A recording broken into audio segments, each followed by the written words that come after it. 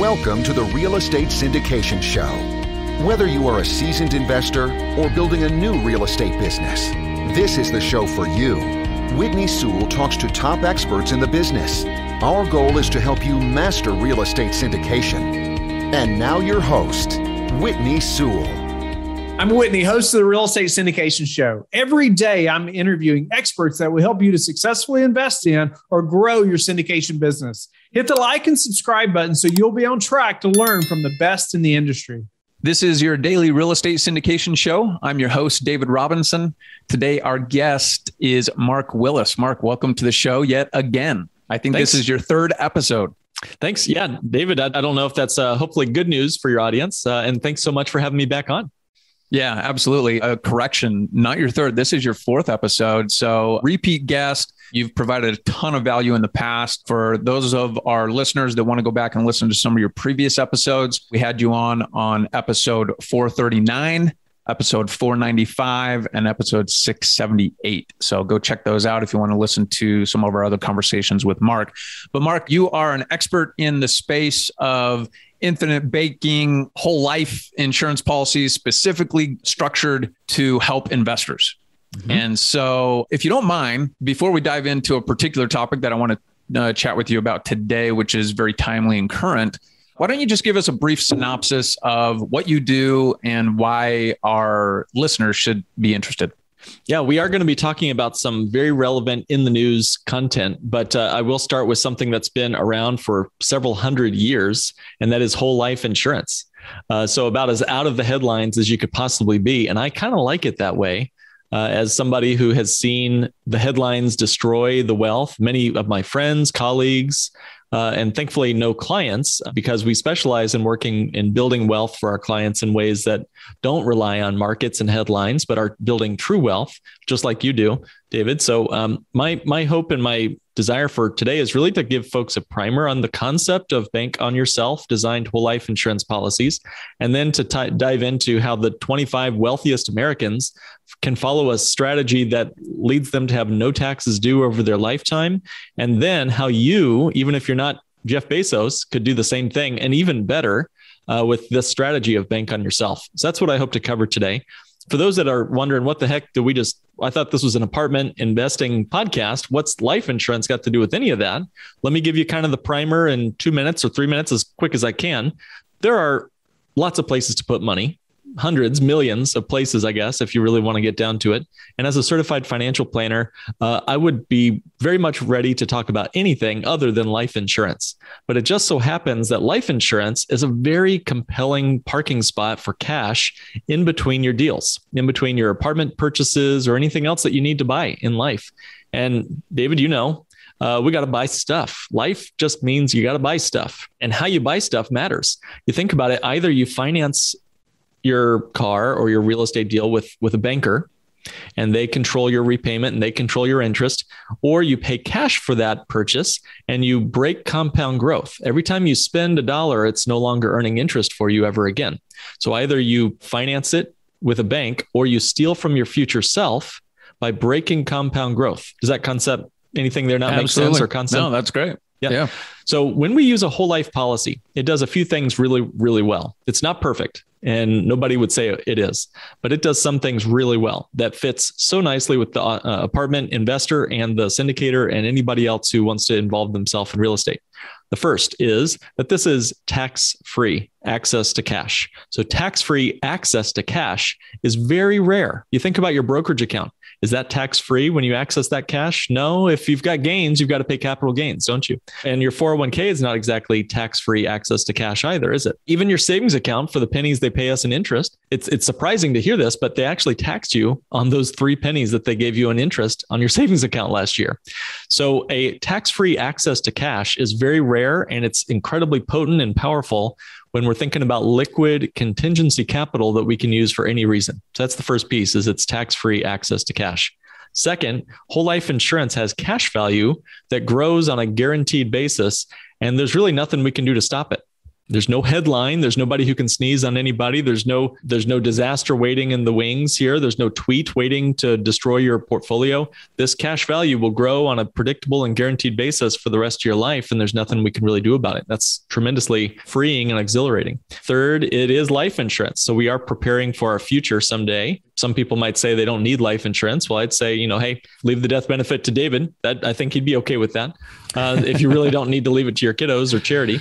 And then finally, it is a, the capacity is there for you to become your own source of financing. And this is where we might wrap up and get any feedback you have, David. The last thing, again, we finance everything we buy. We talked about banks. We're paying cash. Those are kind of the two main options. Well, we like to look at a third way to buy things, and that is to borrow against the life insurance cash value, to use that cash value as collateral for a loan from the insurance company, thus leaving the cash value in its current form, earning and growing and, and yielding a cash increase as if you hadn't touched the money. Even on the capital you borrow, it continues to grow. So I kind of suggest let's let's use some numbers really quick. Let's say you've got $100,000 of cash value, David, in a policy, and you want to buy a real estate deal. Maybe you want to put 70 grand into a down payment or something like that. You can certainly pay cash or use a banker, but we've talked about the problems there. Instead, let's borrow from our $100,000 cash value and take 70 grand against that and go buy our apartment building or whatnot. The policy will continue to pay you a guaranteed growth plus dividends on the entire $100,000, even on the capital you borrowed, as if there was no loan. And then you're in control of repaying that loan to the policy you control. And if you never pay off the loan, they just deduct it from your death benefit when you pass away. So it's a fully collateralized, non recourse loan, which gives you the freedom as the investor to you know, pay that loan back as you wish or not, depending. And it gives you the freedom to continuously compound your money in the policy and do whatever you can do with your apartment building. So it's a tremendous win-win. It's it's almost like we put two wonderful elements together, like nitro and glycerin. When you put those two together, they they just do wonders together. You know, they do, they have some uh, they pack a powerful punch. Let's just say that. Absolutely. Well, thank you for that summary. In our industry, I, I believe that you and a few others are doing a great job of educating our industry about the benefits of uh, utilizing whole life insurance as a vehicle to accelerate uh, the returns on our investments. Some who uh, are listening may be feeling like, wow, this is just too good to be true. This feels like double dipping. This this doesn't seem to add up. What are the downfalls, or where do people run into trouble as they execute on this type of strategy with whole life insurance? Yeah. Well, um, let me give another example of where you can get two things at once with our money. And then I'll contrast that quickly with how whole life insurance works. And then I'll answer, certainly answer your question about the downfalls too. Great. So if anybody has a HELOC on their home, they're already doing this. Uh, let's say your home is worth, pick a number, $300,000. And let's say that your home is worth $300,000, but you have a HELOC of $100,000. Okay, so we can borrow against our house and go buy an apartment building or whatever we want to do. Does the house stop growing? Or appreciating? Does Zillow care if you have a HELOC? Of course not. No, going to keep yeah. going. It's going to keep growing even on the capital you borrowed. And meanwhile, you've got the, you know, 100 grand out there in the world doing things. You bought your Tesla or hopefully you did something constructive with that money. So that's the the similarity to how whole life policies work. Now, the analogy breaks down because uh, David, is there anything guaranteed about our Zillow home values? No. There no? are times when real estate values do go down that it just so happens, right? Uh, you know, uh, some folks might not even remember 2008, but those instances can make or break your entire financial life. I had a call with somebody, they had lost half their life savings in their 60s in 2008, half their life savings in their 60s in 2008. Guess what? Their financial life has looked very different than what they thought it was going to look like now, these many years later. So, unlike a HELOC, we have guaranteed growth on a whole life policy. Also, unlike a HELOC, there's no one who can tell you you can't get that money out. A HELOC can be frozen or termed out or reduced. They also force you to pay interest every month on a HELOC. None of those things are the case with a whole life insurance policy. You are guaranteed that access to your cash. It's baked in right into your contracts. Now, um, to answer your question, David, yes, there are 400,000 life insurance agents in the United States alone. That's one for every 800 of us, right? One for every 800 Americans. So if there were that many heart surgeons, would you just kind of go to your nearest heart surgeon if you needed like immediate cardiac surgery? I, I wouldn't. I would I would want to find the best, right? Somebody who has some specific credentials that can make sure that this was done right for me because you kind of can't do do-overs with these sorts of things. And life insurance similarly has only a few real credentials past just getting your license. I mean, David, I don't know. Have you ever had a life insurance license? Most people have over their lifetime. It's sort of like getting your real estate license. It takes maybe what, 2 months something maybe to to you know, maybe it took me 3 months cuz I'm slow but it doesn't take long and it doesn't take a lot of expertise to sell life insurance. Now, um, not all whole life is created equal. And the only designation that I'm aware of in the financial universe that specifically is designed to help the general public know that they're getting one of these policies that you and I just talked about is called the Bank on Yourself Professionals Training Program. I had the privilege of going through that. It took me about three years to earn that certification, about as hard and as long as getting my certified financial planner designation, and ensures for the kind of buying public that they're getting what they expect. Because I've met too many people thought they had an infinite or legacy banking or name your nickname. And the only one with any kind of street cred, it's like the USDA organic of the life insurance world. You want to make sure you're getting what you think you're getting when you get into one of these contracts.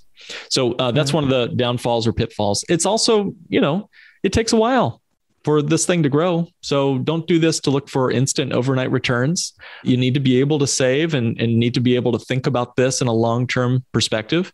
Gloria Steinem has a quote. She says, uh, Rich people plan for three generations. Poor people plan for Saturday night. So this is a long-term wealth builder, not a get rich overnight type scenario there. Uh, David, did that kind of get to your question? Yeah, no, I appreciate that. And I, I'm curious also if you might just, at the very base level, who is a candidate for implementing this strategy on, on the base level? Yeah. Who should be considering this option? Well, on the base level, I would say too few people have even heard of this, and more people should have this than do. That said, we just talked about some scenarios where it really wouldn't make sense for folks. But guys, you don't have to be Jeff Bezos or Carl Icahn or Elon Musk to set up one of these policies. I have noticed the wealthier one is, the more likely they already have this in their portfolio. But you know, if you've got a capacity to save, if you're living within your means and you desire to see accumulated wealth in a tax favored environment, then you probably should at least explore this option with a competent professional. Uh, so it could be a couple hundred bucks a month going into a policy. You know, my first two policies, my wife and I, 500 bucks a month each. Doesn't take much, but for us, that was a big step for us at the time to do that. Yeah, free five, 600 bucks a month, somewhere in there could probably get you started on a well designed, efficient whole life policy. And what could that do? That could maybe that starts to pay for your property taxes or your HOA expense, or or maybe your um, HVAC goes out uh, next summer, and we can borrow from the policy to cover some home repairs or, or apartment expenses, right? So it can start small and you grow from there. Yeah, love it. And maybe a little bit more of a technical question about the structure of a policy. But many of us in the real estate world experience large influx of income or cash on an irregular basis. Mm-hmm. And so let's just use an example. Let's say someone uh, just closed on, on a recent acquisition or sale of a property and they've got you know a $200000 in an account that just came into the bank account they don't have one of these policies set up They'd like to set it up, but they want access to that cash in a very short period of time because they want to do their next deal. Is it possible to structure this deal where you would be able to put that, you know, $200,000 lump sum into a policy and then be able to access that policy to be able to use that cash value on an upcoming deal? Yeah. Very, very practical and technical question, but I'm interested. Would you like uh, some exact numbers from an exact, like a real life? That would, um, that would be beautiful. Would client? love it. Okay. So here's somebody who's 40 years old. Uh, and I can read you these numbers. I'm looking at them on my screen. I can share them if you want, but I'll, I'll just read it since uh, we might have folks driving down the road and I'll try to keep these numbers simple. So this person actually had twice the money. So he put in $400,000. Again, you know, guys take a zero off or add a zero to these numbers. It's all proportional. Uh, but he was 40 years old and he put in 400 grand and he put that money into a single premium whole life insurance policy. Single premium means one time only. Don't need to keep adding to it. Uh, this is just one of maybe two or three different ways we could have done this, but this was the best way in his circumstance. So he dumps in $400,000 and that's it. He's he never has to add a penny to this policy ever again.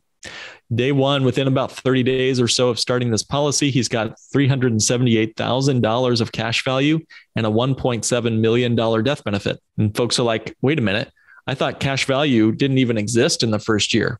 And this guy's got $378,000 that he can access and use right away within a month of starting this policy. How is that possible? Well, this is a single premium whole life insurance policy. And what he's done is he also set up some regular recurring policies. So we call this the two stage rocket strategy, which I won't go into unless you really want me to. But he has uh, a single premium policy with $378,000 ready to go right away.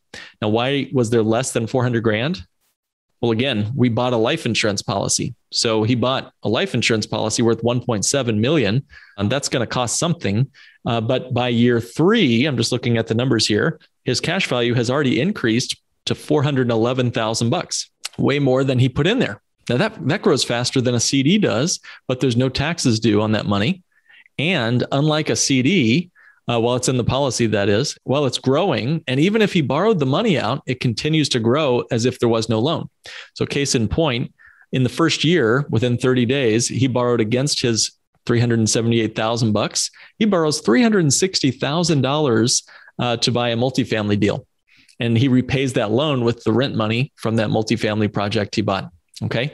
He completely pays off the policy loan in year eight. Now, for those that want to know, there is a loan interest that he was charged to borrow this money, and that totaled about 2.1%. That was his annual percentage rate, 2.1%, which is 54 grand. And how is that interest determined? The contract itself determines it. The life insurance contract does. There's no underwriting. You don't have to be approved for a loan. It's already you know predetermined that you've got access to this cash you can usually borrow about 90% of your cash value uh, right away you know within 30 days of starting your policy. So he borrowed the money out and he paid some interest. That was about $54000 he paid uh, over eight years. So some folks are like well why would he do all this mess? Why not just pay cash for the apartment building and why you know let's avoid 54 grand of interest uh, even though that's great interest rate 2.1 is not bad we could just avoid this insurance expense and all this loan interest if we could just you know pay for the apartment with cash well the policy itself went from $378,000 to $507,000 over that same period of time. Now, to me, that's a great piece of arbitrage right there. Policy itself grew 107,000 bucks beyond his contribution from 400 grand to 507 and he only paid 54 grand of interest. So that's an arbitrage of over $53,000. And and lastly, and then I'll hush, I promise, David, he does this again, or his plan is to do this again. And we already know that the contractual growth of this policy will become more efficient every single year for the rest of the policy's life. So we repeat the exact same loan in year nine up through year 17, another eight years, same interest, loan interest is the same, but now his growth, his arbitrage is now he's he's got a total of $182,000 of arbitrage. So this policy just is like a runaway train in a good way, getting more and more efficient the longer you keep it. And uh, man, you know, uh, I appreciate you going into some detail and giving us a real life example. That's very helpful. And before we sort of transition transition the conversation to this sort of uh, more current topic as it relates to what you do, is there any risk involved in a policy like this collapsing? How does that happen? What what are the risks that someone should be aware of in engaging in this type of policy? I'm glad you brought that up. You know, when you borrow from yourself, you don't want to steal from that bank. Don't steal from your own bank. That's foolish, right? If you and I had a mortgage company together, David, and you caught me, let's say I needed to borrow some money for a house and you caught me not paying my mortgage, I hope you'd come after me, man. I'd hope you'd make sure I was paying my monthlies, right? And similarly, you don't want to just forget that you have a loan. Now, I've already said that you are in control of your repayment plan to this policy. The insurance company is not going to come, you know, beating down your door with Uncle Guido and a baseball bat. That's not the way this works. They already have their collateral. It's called your death benefit. So when you repay a loan, it decollateralizes that death benefit so you can and you can respend that money on the next apartment deal. Okay. What happens if, you know, like all things, life gives you sometimes they give you curveballs. What if you never or can't pay off that loan? Well, eventually that loan could exceed or equal, I should say, your cash value. The loan balance might grow to such a point where you've totally forgotten about this loan, you're not paying on it, it's nobody's, you know, doing anything with this loan. And if that loan balance ever equals your cash value, they simply wash away the policy. It's called a lapse, like you said, collapsing the policy. It's a lapsed policy. The policy would then sort of essentially go away your loan balance would no longer be required to be repaid. Uh, if there were gains, you would be taxed those gains. So we don't want to surrender or lapse your policy. So keep an eye out for that. I sort of say, hey, you know, in this guy's case, he repaid his loan over eight years. He could have taken 30 years to repay that loan and it would have been fine. The policy would have been fine. But you have to manage this thing. It's not like watching the stock market. It's not like watching your, you know, your your Bitcoin account, it's not wild and unforeseen. You can kind of see things coming, sort of like when you're driving down the highway and you see a tree two miles out. You could probably avoid that tree with a small correction. But if you wait to the last minute, it gets really tough. So work with a competent financial professional, a bank on yourself professional. And we've, I think in my my years of doing this, 10, 11 years, I don't think we've had anybody unnecessarily or unforeseen lapse their policy.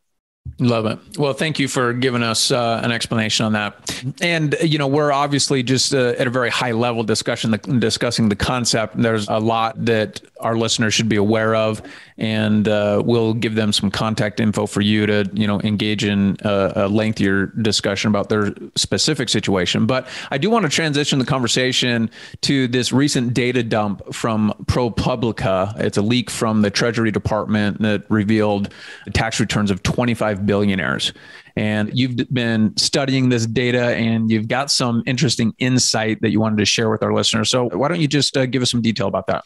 Yeah. Uh, what if you could build massive amounts of wealth and never pay any taxes? I mean, truly tax free wealth. Uh, so, if I've got your attention, this is sort of what we learned in the recent data dump, uh, as you mentioned, from the Treasury Department. And first of all, I guess we won't get into the politics or the the interesting timing of this, as there's been some recent, you know, discussions around tax changes. I think it's just sort of curious the perfect timing of this potential leak, but we won't get into that right now. What I'd like to sort of talk to you about is how you can do what the very wealthy do uh, without necessarily having your own spaceship to Mars. Okay.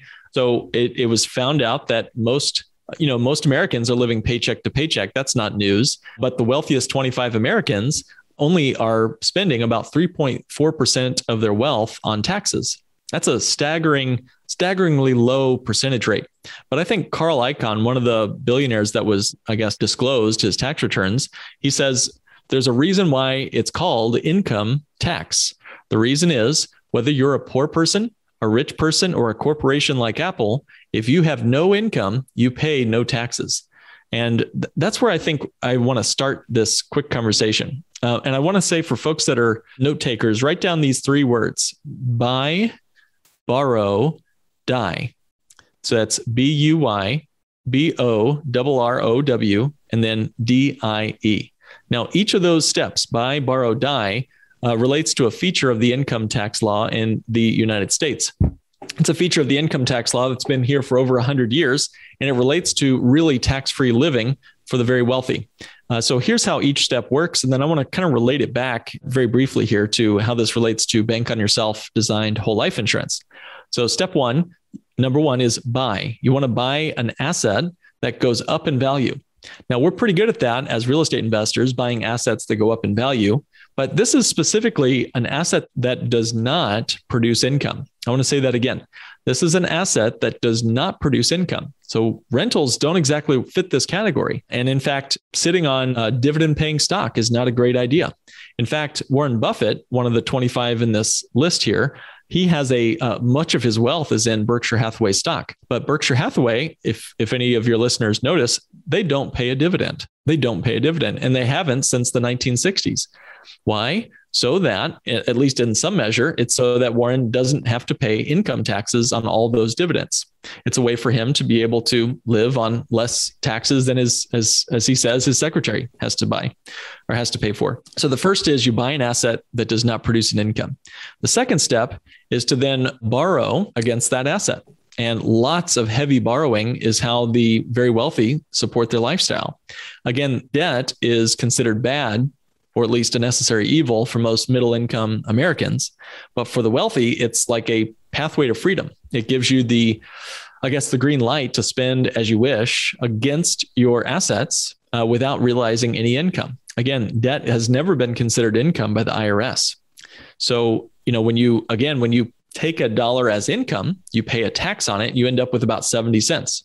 But when you borrow against a dollar, you get to keep all dollar all all 100 pennies right? The entire 100% of your money is still ready for you to buy and spend and do as you please. Now uh, we'll we'll talk further about that if you'd like to david but the last step is die. Now okay I'll be honest, most people are not enthusiastic about this part of the buy, borrow, die plan. But uh, the good thing is when you pass away, you can avoid, you've already avoided income tax during your lifetime. And when you pass away, the incredible strategy here is that there is a step up in basis for the very wealthy and their tax gain miraculously disappears. In other words, there's no income tax on your real estate appreciation or your stock appreciation.